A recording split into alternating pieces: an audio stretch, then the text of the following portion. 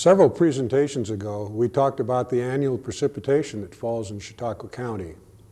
What it adds up to in the upland area is about 42 inches per year, and on the Erie Lake Plain, about 37 inches a year.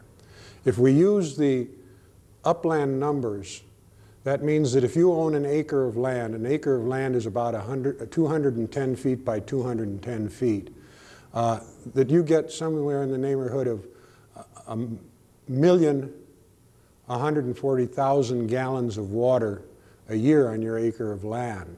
And we suggested that 40 to 60% of it, depending upon when it falls, runs off. Another 5 to 15%, depending upon the soil conditions, uh, may percolate down into the groundwater and eventually return to the surface water. And the remainder, somewhere between 20 and 30%, disappears through evapotranspiration. So what happens to that 40 to 60%? Well, for years and years, we really didn't pay attention to it. In fact, we didn't even care about it. Uh, but we do today. And I'm going to try to describe to you a changing view by the public, by political people, by planners, and I hope the whole nation. And that is the question of wetlands and floodplains. One of the things that happened as I came into the planning field was every year my friend in Kansas City would tell me how the cost of the floodplain damage in Kansas City had increased. And finally he said, you know, the reason for it is we keep building more and more in the floodplain and we don't move out of the floodplain. And the people in Kansas City proudly mark the high water marks on their buildings, a story and a half or whatever it might be. Uh, and that was the case. We just kept building in the floodplains. We then looked at floodplain areas as places for landfills, for dumps, to get rid of the old tree stumps. This is also the case of the wetlands. In almost every instance, we looked at the wetlands as, as something to be corrected.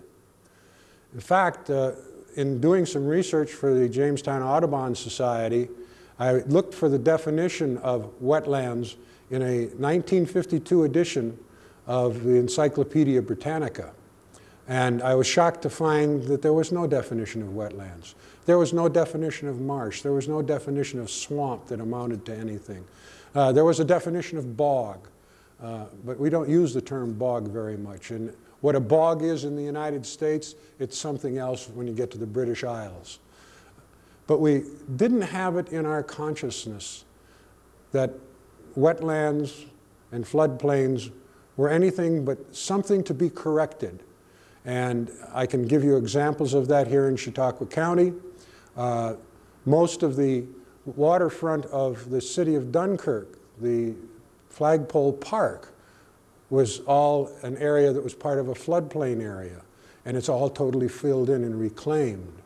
Uh, if you go down and look at Viewcoat, uh, most of Viewcoat was designated on the 1904 U.S. Geological map as a swamp or a wetlands. And there were a number of areas around Chautauqua Lake that were designated in that area. The whole area on the west side of the city of Jamestown, bordering on the outlet, and then which becomes the Chadakoin River, uh, while it had a history of having one of the largest rose garden and rose distributors located there many, many years ago, kind of the, the early Jackson and Perkins, it basically was a wetland. Uh, and of course, those of you that have a memory know that uh, the city dump, and there's no other description for it, but dump, uh, was along that area. And of course, over the years, they have now reclaimed it and covered it totally. Uh, but that is the way we treated wetlands.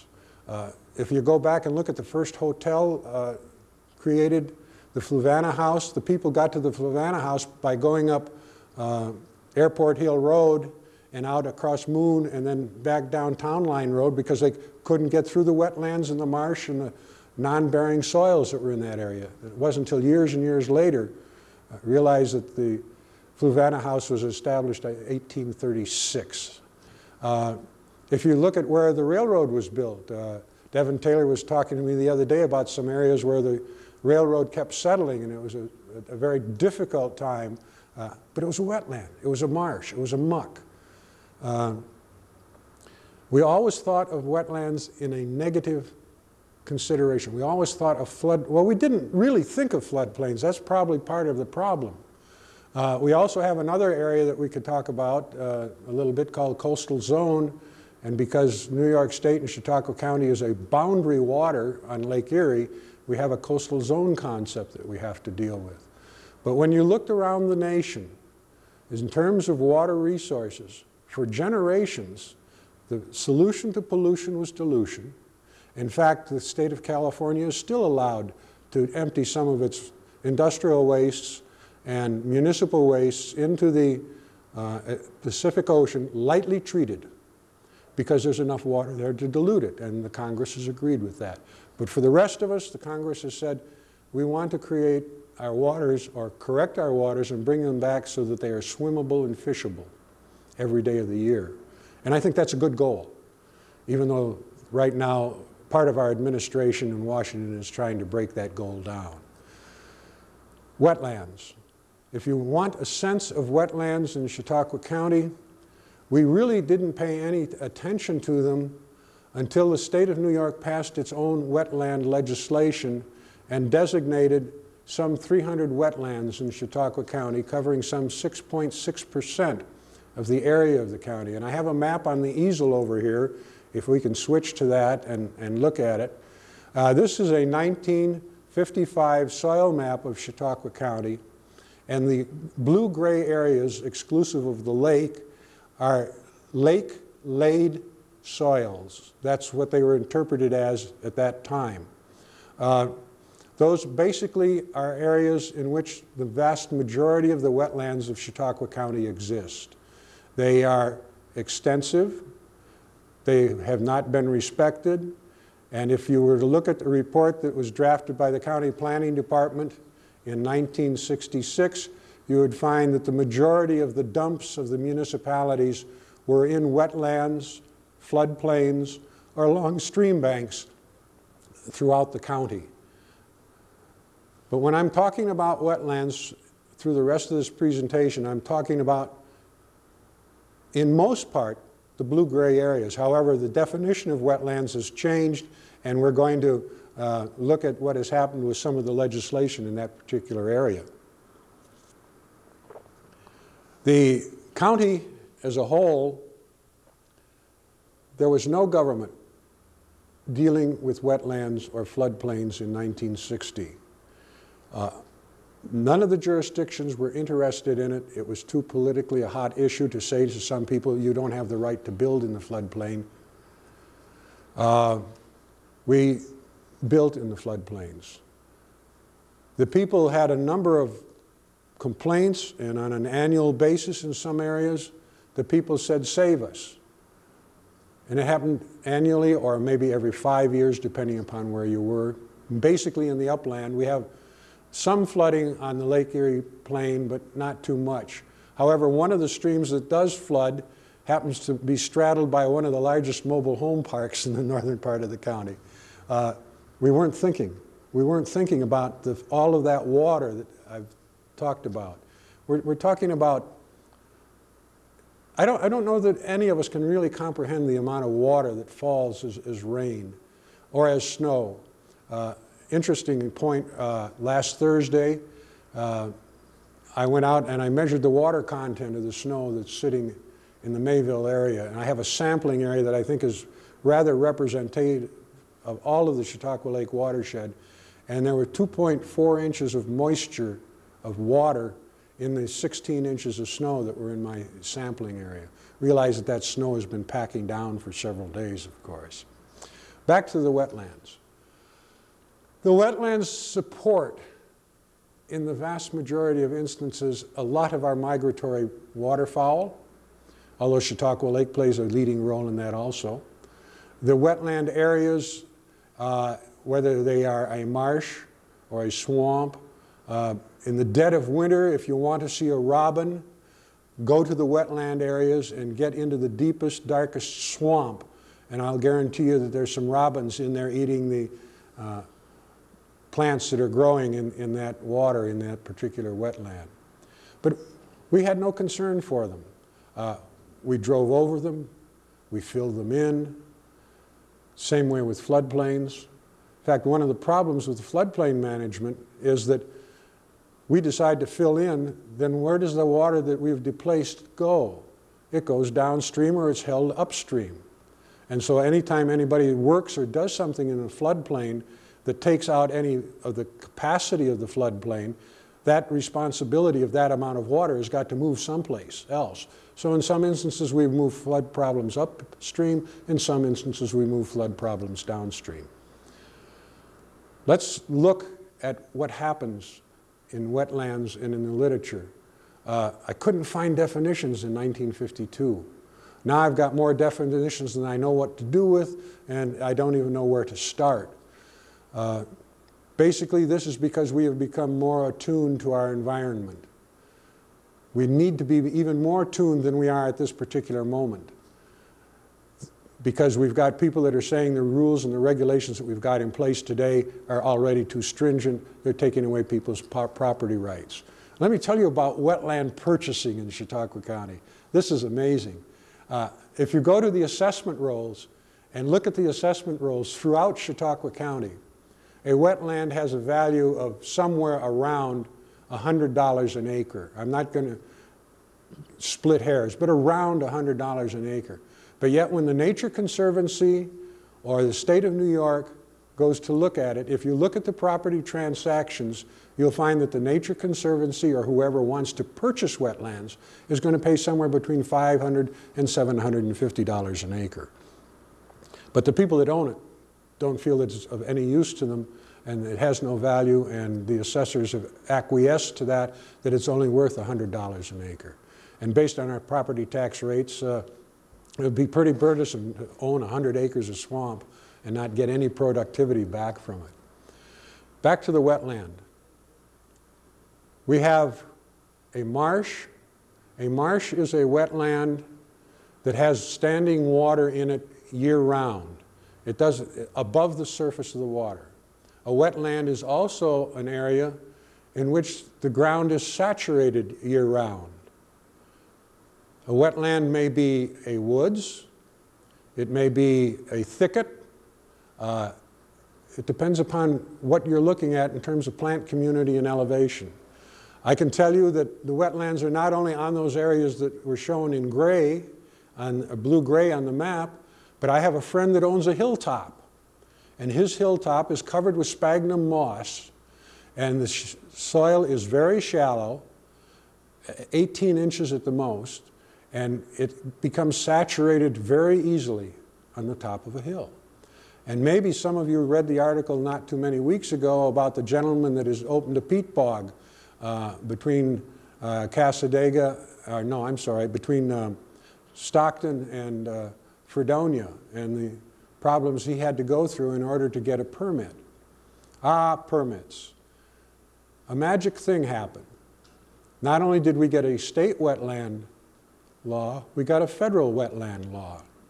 In 1983, the state of New York filed papers and notified every property owner in Chautauqua County, covering some 6.6% of the area of the county, that they owned a wetland. And that was all that they were involved in, was notifying them that they owned a wetland and that their wetland would be classified in one of four categories. Uh, the New York state law said that generally a wetland had to be 12.4 acres. However, if you have a unique wetland with unique and threatened plant species or animal species that live in there on a residential basis, the wetland could be smaller. The Commissioner of Conservation could do that. Uh, the other thing that happened was that there was a 100-foot buffer put around any boundary that was described. And anytime any activity was to take place, filling particularly in those areas, they had to get a permit from the state of New York first. And we administered that Wetland Act for several years. The federal government had a Wetland Act that they'd done nothing with.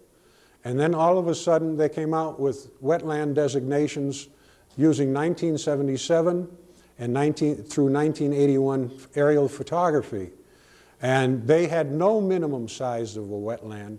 Any stream, any rivulet, any drainage that carried moisture in it a majority of the year was a wetland. Then they also went about using the authority that was given to them by the Congress to designate all of the plants that were indicators of wetlands and all of the soils that were indicators of wetlands. And then we get into the question of growing season. And when a area is covered with water or saturated with water during the growing season, April, September, we probably have a wetland. And if you're interested in knowing about whether or not you own a piece of wetland, there is a book that is available. It's a Chautauqua County document. I think I've referenced it before. It's the Soil Survey of Chautauqua County, New York, uh, done by the United States Department of uh, Agriculture as part of the uh, program uh, of soil management and agricultural practices here in Chautauqua County. Every acre of land in Chautauqua County has been classified under this. And if you go into the definitions and look at hydric soils, those are soils that are saturated or may in some instances be uh, overtopped with water part of the year, uh, it'll describe it in the text of the particular soil. So you can begin to understand whether or not you own a wetland. And the reason I say that you, the individuals, should be interested in knowing whether or not you own a wetland is it is, is your responsibility under the federal law to know whether or not you own a wetland or possess a wetland area. The uh, number of people in Chautauqua County have come up short. The Corps of Engineers is the administrator of the federal wetland laws. I could get into a long diatribe as to whether or not the rules and regulations that the Corps of Engineers adopted were adopted according to law, uh, but we won't digress. We, we could spend hours on that one in, in a, of itself. But today, you are responsible to know whether or not you own a wetland. And the administration of it is done partially through the New York State Department of Conservation and partially through the Corps of Engineers. Uh, it used to be that we worried about whether or not we were in the Pittsburgh office or the Buffalo office for administration purposes because they interpreted the rules and regulations a bit differently, and one was more stringent or strict than the other. Imagine if you own a piece of land and you've got skunk cabbage on it, you've got a wetland. Uh, if you've got a, a land that in April you can't walk on because there's water, it's water saturated, you've got a wetland. Uh, and it's amazing how much of the soil of Chautauqua County uh, can fall in that category. Fact of the matter is the amount of wetland is dis distinguished by the state of New York and the amount of land distinguished by the, the, federal regulations is entirely different, and I've never had the time nor the energy to measure up how much additional land is, falls under the wetland designation. And then, depending upon that designation was based on aerial interpretation of plant community and other uh, topographic features. Uh, there are still other areas of the county that are wetlands uh, that are not on that map. In fact, in several instances when I was still active in county government, uh, people that didn't want something to happen in a particular municipality would raise the question, well, aren't you changing wetlands? Uh, therefore, you've got to have a state or a federal permit. And of course, we'd have to go through the, the whole process of, dealing with that particular question. And there are wetlands that may be important that are very small. There are also a number of wetlands that we created uh, when we built roads and we built bridges. We didn't pay much attention. We put a large enough culvert or drainage feature through it so that it wouldn't erode the structure, but we didn't necessarily look at what we were doing to the wetland when we uh, were involved in that particular action. So today, you and I are responsible for understanding whether or not we own a wetland, and I would tell you that you cannot do anything on your wetland without a permit. I shouldn't say that. You can hunt, you can fish, you can hike, you can walk, you can probably create board paths and that type of thing. But to suggest that you can run uh, logging equipment across the wetland without a permit is a wrong assumption. To suggest that you can dig in the wetland to create a pond, I understand now that is a wrong assumption. You have to have a permit for that. The other part of the topic for today was floodplain. The floodplains of Chautauqua County, again, if you look at the wetlands map, are basically in those areas where uh, it appears blue-gray. And if we can get a, a, look at that again, there we are. Uh, the, wet, the floodplains that are not shown on this map are the ones that are in the uh, Jamestown and Lakewood urban area and very close to the edge of the lake because we're talking about a very, very small dimensioned area around the edge of the lake. But uh, the floodplains of Chautauqua County are basically the blue-gray areas. They very definitely coincide with wetlands in the vast majority of instances. In 1969, federal flood insurance was uh, adopted under the Nixon administration, and people were allowed the opportunity to buy federally subsidized flood insurance to protect their properties if they were in floodplains. However, there was a little sticker. The municipality in which they lived had to adopt rules and regulations to manage floodplains. Now, that was very disruptive to a number of communities that said, we don't want the federal government in our hair. And we have some municipalities in Chautauqua County that have uh, allowed that authority and responsibility to go to the uh, state for administrative purposes. There's no use picking on those political areas, but there are some places in Chautauqua County that are that way. Uh, we have floodplain maps for every municipality in Chautauqua County. The village clerk or the town clerk should have those floodplain maps. If they do not have those floodplain maps, uh, you can get assistance dealing with the question of floodplain and floodplain insurance by calling the Chautauqua County Department of Planning and asking for Dave Phillips, who happens to be the, the expert on that particular uh, topic.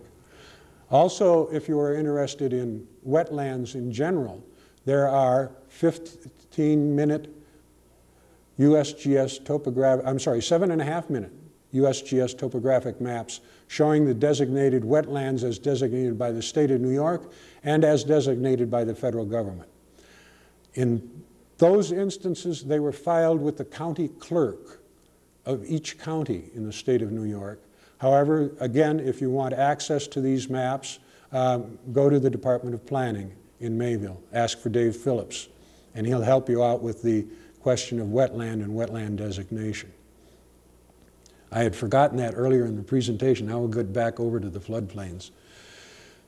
The floodplains, to give you an idea of floodplain area, in 1976, I did a snow survey and I went to Wanda Gustafson and I said, Wanda, we're going to have a flood because we've got between four and a half and five and a half inches of snow in the snowpack. And if we have a typical thaw and meltdown, uh, Jamestown and the shores of Chautauqua Lake and Falconer are going to get wet. And we actually had a, a meeting of local officials to decide how we were going to share, oh, what audacity, we were going to share the, the, the flooding problem. If you remember that year, uh, uh, Brooklyn Square got inundated. The, the River flowed at 2,200 cubic feet per second. Its normal bank high flow is 1,270 cubic feet per second. Uh, so we got a good designation of floodplains. And by the way, the floodplain maps were made with the, if I haven't mentioned it, are made with the participation of local government. They weren't done off in some blue sky place. But when they got through in that blue sky place publishing, the, the, the accuracy of the maps became very difficult. In Chautauqua County, slowly but surely, a number of the governments, in order to allow their constituency to have federal and flood insurance, began to adopt the rules and regulations to administer uh, those regulations. However, in one or two instances, the code enforcement officer was felt that it was totally unconstitutional that these people should be denied the right to build in the floodplain. So it took several years before all building inspectors in Chautauqua County realized that they had a responsibility to keep people from building in the floodplain. Around the shores of Chautauqua Lake, we have proposed that the uh, people building around the shores, any day they want to go out and look at the lake elevation, put down a stilling box and measure that elevation and convert that elevation up onto their property, they can do that by looking at the Post Journal's uh, weather report up in the, on the right or left-hand corner of the second page every day. It tells you what the lake elevation is uh, to within a tenth of a foot. Uh, then you can decide to build. We have recommended, the planning board and the planning department has recommended that because of wave action, that no one should build a living space or a storage space or a utility space below an elevation of 1,313.5 feet above mean sea level. Realize that the summer elevation of Chautauqua Lake nominally is 1308. So we're suggesting that you build five feet above the normal stilled waters of the lake, and that in the vast majority of instances, in fact, the 100 year storm for Chautauqua Lake is 1310.2 or 0.1, depending upon which municipal uh, floodplain map you look at. So we have that responsibility to keep the floodplain undeveloped. And in that 1976 flood, we had 825 or 845 homes around the shores of Chautauqua Lake that were surrounded by water. We had a number of homes down in the village of Falconer that their basements all got flooded. There was absolutely nothing we could do to protect those people. Uh, in fact, we couldn't protect anybody because Warner Dam, if, if we had stopped the water flowing down the Chadakoin River, we just raised the water higher uh, in Chautauqua Lake and threatened those 845 property owners even more than uh, they were threatened. Uh, the Corps of Engineers suggests that there was one basement flooded, but uh, I don't know where that is because I sent a team out after Tropical Storm Agnes and went around and measured the first floors of all of the homes that were in the normal floodplain of Chautauqua Lake. Tropical Storm Agnes. I've got to tell you about that storm because it gave us something very special and unusual and unique in New York State. As an aftermath, we asked that we put out and create a series of maps around the shores of the lake that showed the 1310 contour line, which would be one tenth of a foot below the 100 year storm level. And we created those maps, and those maps are available in the County Department of Planning, and those maps can be used to correct uh, your banker or the Corps of Engineers or anybody else when it comes to saying whether or not you need flood insurance. Uh, my family, as I've mentioned before, has a cottage on the lake and has had a cottage on the lake since about 1905. Uh, there's a cottage that was built back of the, the family cottage by one of the relatives that is 13 feet above the elevation of the lake, and yet because of its location, uh, an interpretation of the uh, federal flood map says that this property has to have federal flood insurance. Well, we were able to take the maps that we created after Tropical Storm Agnes and we're able to uh, convince the mortgagor or mortgagee, mortgagor uh, that flood insurance wasn't necessary. Our view has changed totally on floodplains. Floodplains are important places. They store water. We have wetlands that store water.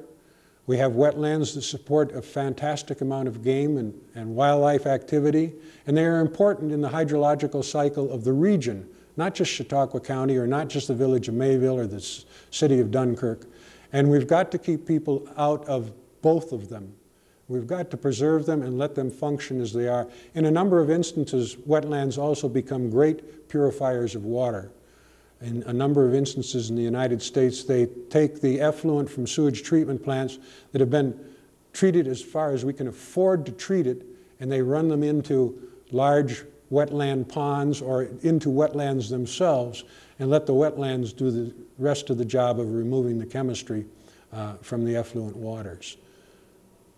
It's part of our water resource system and we've got to pay more and more attention to it and you and I each have a responsibility in doing so.